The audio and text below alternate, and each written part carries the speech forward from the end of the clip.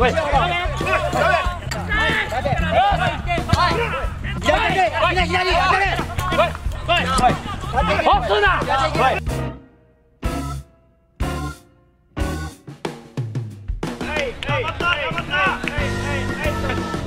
三四，四二三。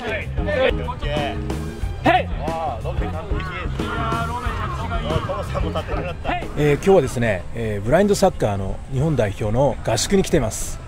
えー、今後ろの方で、えー、中野隆、えー、フィジカルコーチの下で、えー、今トレーニングが、えー、行われているところなんですけれども、まあ、今そうですね時間にしてもう開始してから20分ぐらい経ってるのかな。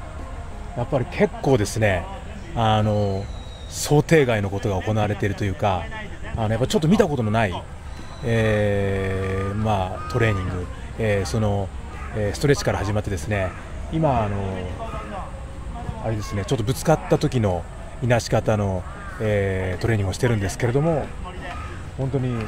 ちょっと衝撃的ですね、えまあ、そのこの半年、え今日、えの時間でですね、まあ、急激に力をつけている、えこのブラインドサッカー日本代表チーム、えこれはですね本当にあの、まあ、サッカーのみならずですね、えーまあ、あらゆるスポーツにも応用できるようなあの体の使い方を今、選手たちに、えー、中野コーチが、まあ、教えているところなんですね。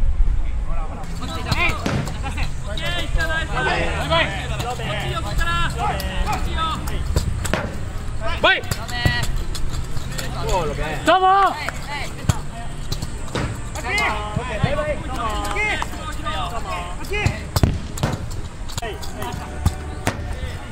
はい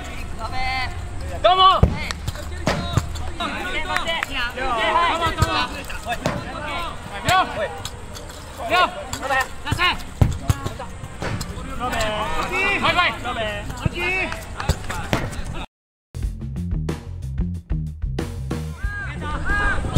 今、えー、練習試合が始まっていますけれども相当激しいですよね。あのこのフェンスをねうまく使って、まあ、ボールを運んでいくという、えー、まあ、戦略が、まあ、頻繁に使われまして、ま、さながらなんかアイスホッケーの感じですよね。でも迫力はですね半端ないです。もう結構みんなぶつかり合っていくという結構見てて面白いスポーツですね。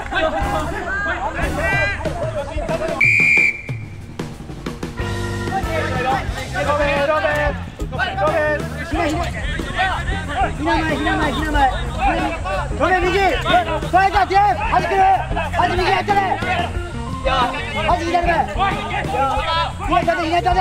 グップひなバックひなバックひなバックお疲れ様でした。はい、どうもあの今日一日ね、あの練習と、はい、あと練習試合を見させていただいて、はい、まあ率直に言ってあの面白いスポーツですね。ありがとうございます。いやもうなんか本当にあの格闘技っていうんですかね。なんかもうそのフェンスにもぶつかり合う感じが、もうなんかそのもうブラインドスポーツというのを枠を超えて、あのまあ、本当なんかエンターテインメント性もあるし、非常になんか人気が出そうだなというふうにあの思ったんですけれども、ご自身、どうですか、その。そうです。あのまあ、パラリンピックスポーツ、あの障害者視覚障害者のスポーツといえばそうなんですけども、はい、一つの、えーと、サッカー、フットサル、はい。はい、えー、それのなんていうの競技、うん、一つの競技として僕も見るようにしてるんで、はいはいはい、だから戦術であったり、うん、駆け引きであったり、うん、あの見えないだけで、はい。はいはい、あとはまあサッカーとフットサルの要素をうまくあれして、えー、あの考えて、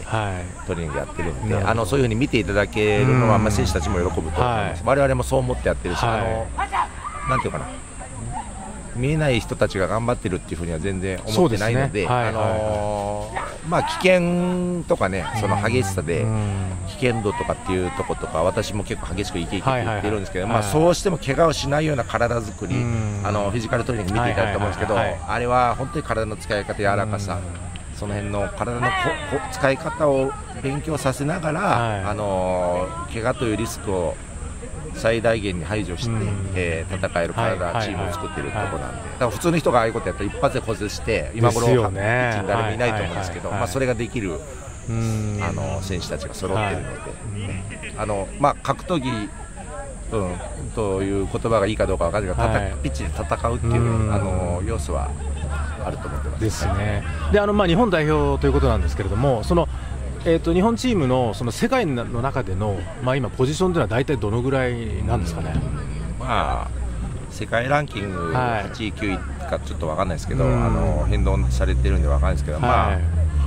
あうんベスト10には入ってるけどトップ3要するにパラリンピックでメダル取るまではまだ行ってないと思うんですけど、はいはいはい。あの部分的にはあの本当に世界のトップレベルの例えば戦術的なあの部分だとか、はいはい。そこは日本、まあ、ブラジルはちょっと抜けてるとかあるんですけど、うん。それ以外を見ると日本ほど、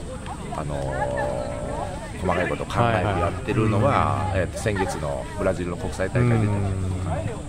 ないかなと思ってる。うん。で今のこの進め方をやっていけばトップ,、はい。トップ3っていう、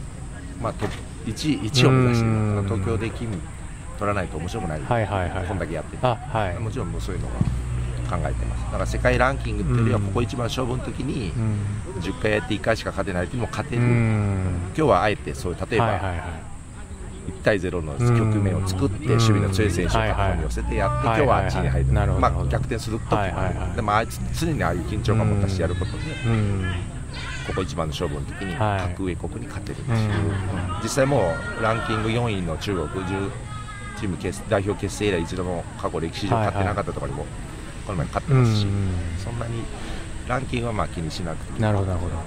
今後その、まあ、あの今、2020年の、ね、東京が目標だっていうお話ありましたけれども、まあ、具体的にどういうところを強化してというふうに思われてるんですかね？うーんとまあ、攻撃力が課題なんですね、はいはい前回のリオデジャネイロの予選、パラリンピックの予選も結局、守備はよく耐えて耐えてカウンターでうん。結局1点取られたら次はないってういう。ん。ところだはい。しっかりいい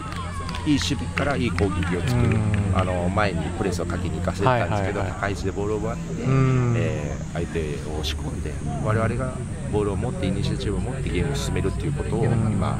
ずっと考えているので、はい。である程度、あのーその世界レベルのチームにもう試合を実際やってですね、うん。ヨーロッパ、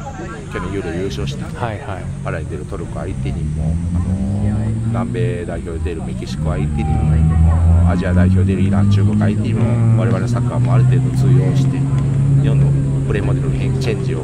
アピールして、えー脅威になるっていうことはできてるので、うん。その、まあ、精度とバリエーションうんと、あと精神的タフさですよね。なるほどはいはい。そこをどんどんどんどん上げていく。ん。で、まあ、来年度ごとに来年、アジア選手権があるんで、そこでもう,、もうすぐ勝って、うん。アジアの2位、3位とかじゃなくて、1位でもアジアの覇権を取って、えーアジア1位で東京に迎えれるようにしたいなと思ってます。うんまあ、手応えはあるということですよね。もちろん、あのー はい十分にあるし、はいあのーもう誰もそんな3位でいいとかなんて思ってる人は、うん。はい。あのいないんで、うん。でなぜか俺らが勝てるかということも、まあ、ちょっとあんまり言えないですけど彼らには全部説明して、あはい。分析だって明日の午前中はトレーニング休んで全てうん。映像うん。からあの戦術的な分析結果をフィードバックして今俺らはこのレベルに来てる、うん。で次ここを目指すっても、一個一個それをずっとやってるんですけどね。そういうことを積み上げてやって、はい。でなぜそれができるかっていうのはこういうコーチがこういうトレーニングを考えて君らがそれを一個一個ハードルを超えてきたからですよと。だから自信を持ってゲームを大会に行きましょう。はいということをやっていってる。ので、あのー